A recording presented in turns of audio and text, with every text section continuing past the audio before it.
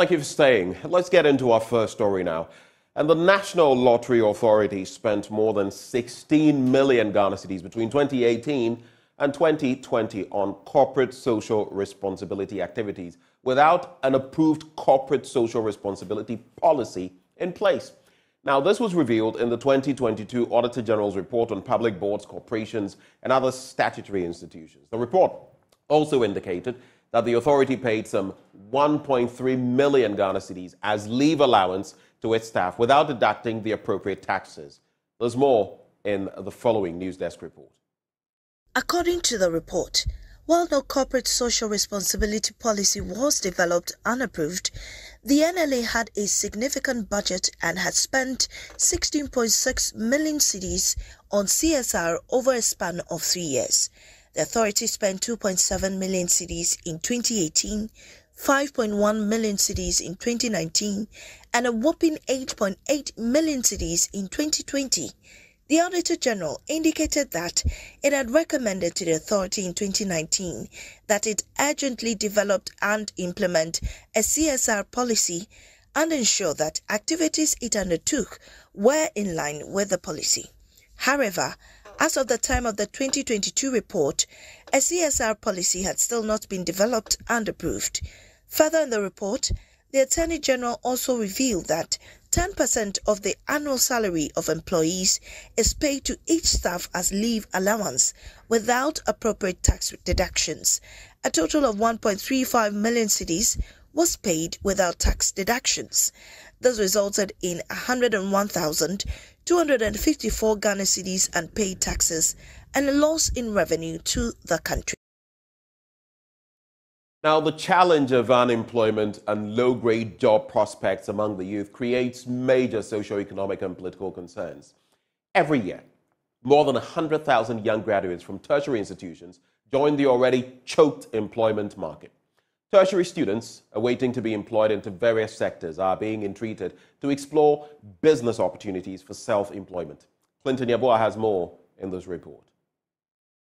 The youth unemployment rate in Ghana remained nearly unchanged at around 7.14% in 2022.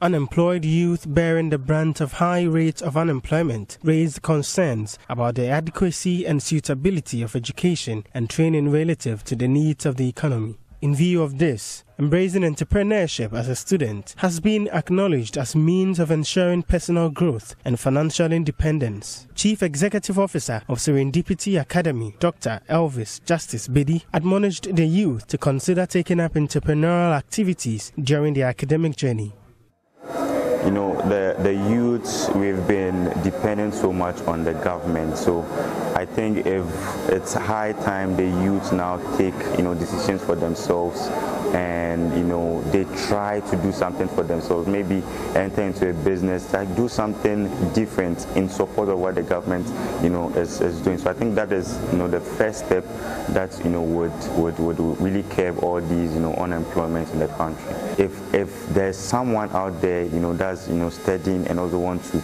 you know do something different, I would advise you know the person to really know how to you know manage their time, time management, being disciplined, and trust me, everything else is is, is noise.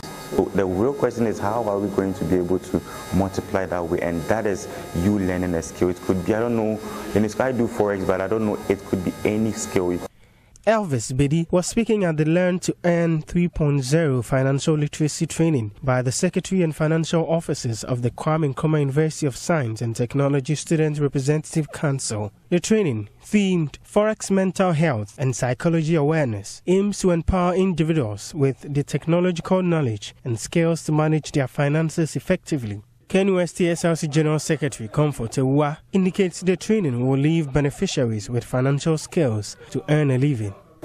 When we had the idea of having a program to educate and train students and by giving them financial skills to be able to journey into the financial market of forex trading. We weren't expecting such numbers I must say I'm very amazed. I'm so happy that whatever we have been inspired of to have such a program for the students of KNUST, they held on to it. They came around with their books and their pens to, you know, jot something down to be able to help them. I mean, not just graduate with uh, a certificate, but then also graduate with skills, skills that would help them earn money and not just join the market of unemployment. Reporting for Joy News, Clinton Yeboah.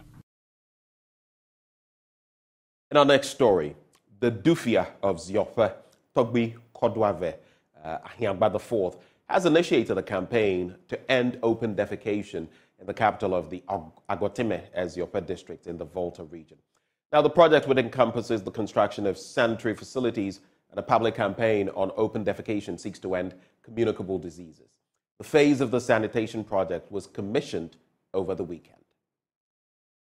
Adama of Niger origin lives here in Ziopi with a 10 member family which her husband left behind about a year ago. She has been single handedly fending for the 10 children and one grandchild. A well constructed in the compound serves as their only source of water as they strive to make a living in the absence of other basic amenities.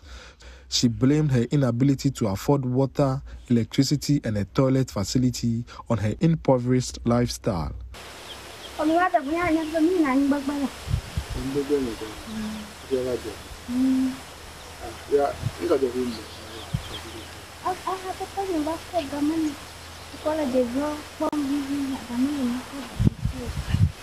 This development is widespread in Ziopi in the Agotime Ziopi district, where the less privileged are unable to construct sanitary facilities in their home.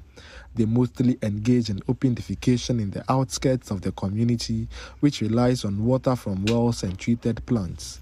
The assembly member for Ziopi, Philip Kofigan Azameti, said there is always a scare of outbreak of communicable diseases due to the practice of open defecation.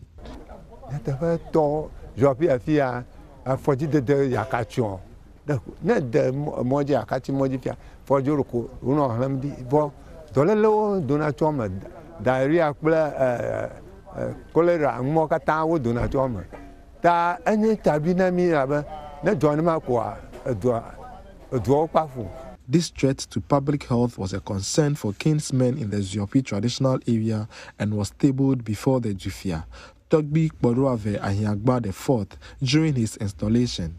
One year on, he redeemed a pledge of constructing sanitary facilities in a bid to end open defecation. One out of five four unit biogas sanitation facilities earmarked to be constructed in Ziopi was commissioned over the weekend. Mary Roots Adovlo is the leader of the project execution team.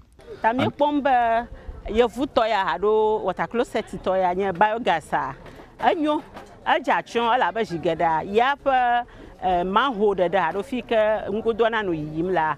Melolo ta esave na land. Emu anyi o alo ʋeʋẽ nɔna sent nɔna anyi ke hygienicallia menyo ta míekpɔ hiahiã alo vevinyenye be eya boŋua ade mia dzi awu alo this is the modern one. Ta akpe ɖe mia ŋu. At the end of the day, it is the impact that he makes on his people. His focus is the youth, that's the manpower base. And it is not ending here. In his speech, he did mention that projects. He has started the electrification aspect by providing street lights. He will be looking at technology and then what investments can get the youth occupied, can give jobs to the youth. So it's a broad base. Fred Kwame Asare, Joy News, Ziopi.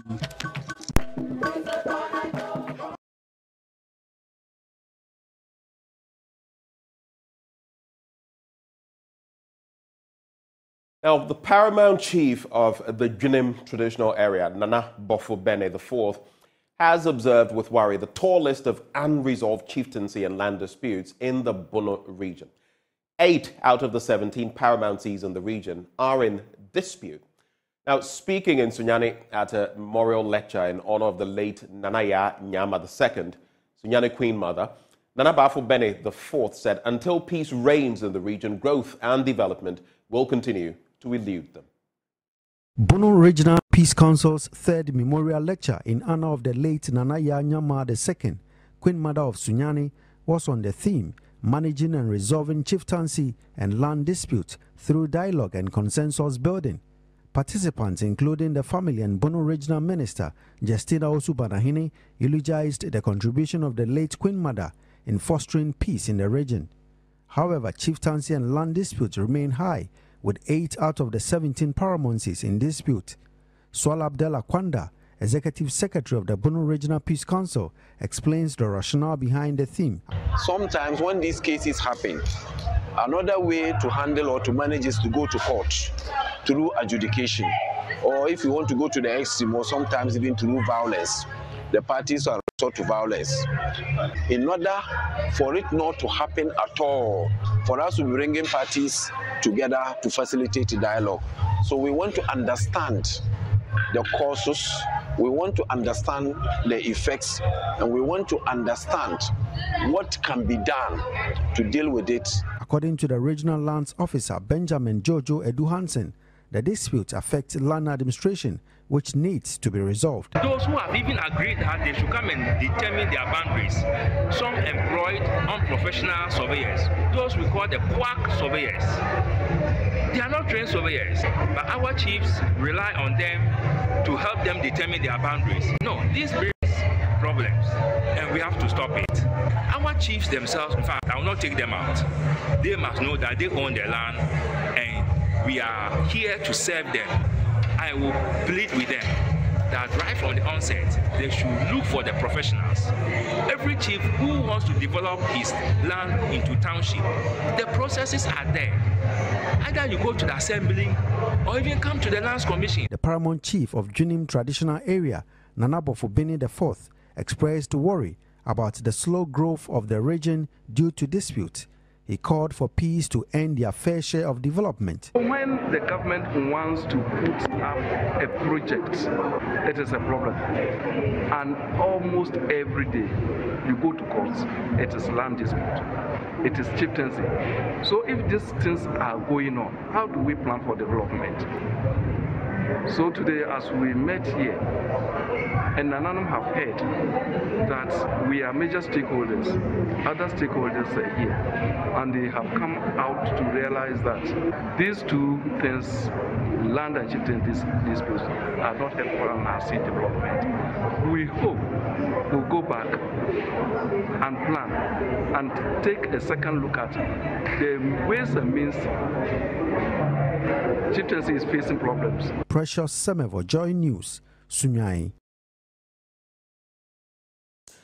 Let's talk about the country's finances now. As Member of Parliament for Bolgatanga Central, Isaac Adongo, is doubtful about the Finance Minister's assurances regarding a fall in inflation. He highlights several indicators that contribute to the inflationary problem, stating that there continues to be a year on year growth of currency outside the banking sector.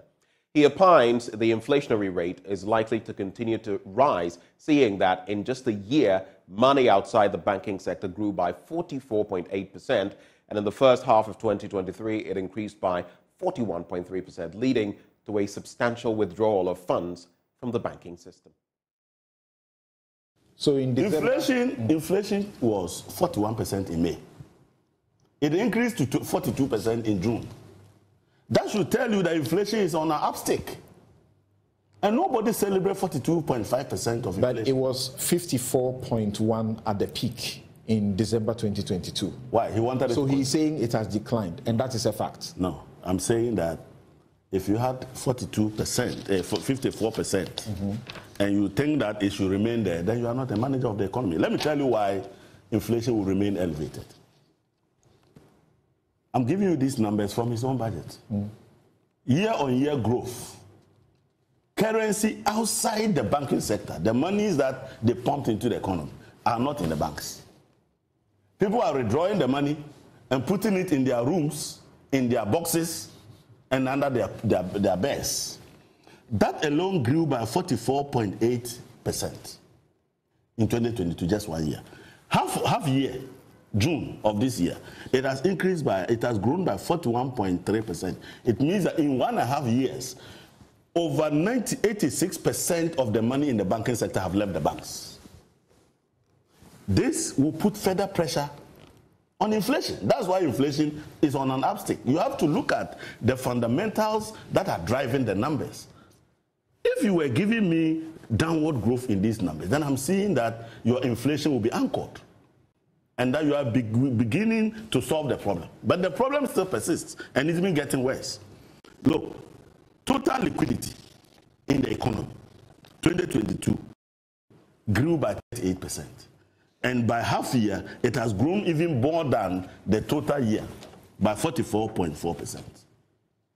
How can you solve inflation with these type of numbers, mm. liquidity numbers? Look, currency in circulation, 2022, it grew by 42.8%. And as at half year, it has grown by 38.8%. Reserve money, 2022, increased by 57.5%. And by half year, it has grown by 29.24%. These are the numbers that are driving inflation. So if you see these numbers and you are not scared, look, if you get 22, uh, 57.5% increase in your reserve money, what it means is that this must be multiplied by a factor of three to get the money supply in the economy. In other words, your amount of money in circulation grew by almost, I mean, uh, your money supply increased by almost 160% in one year and you need to bring those monies back in order to solve the problem of inflation. Mm.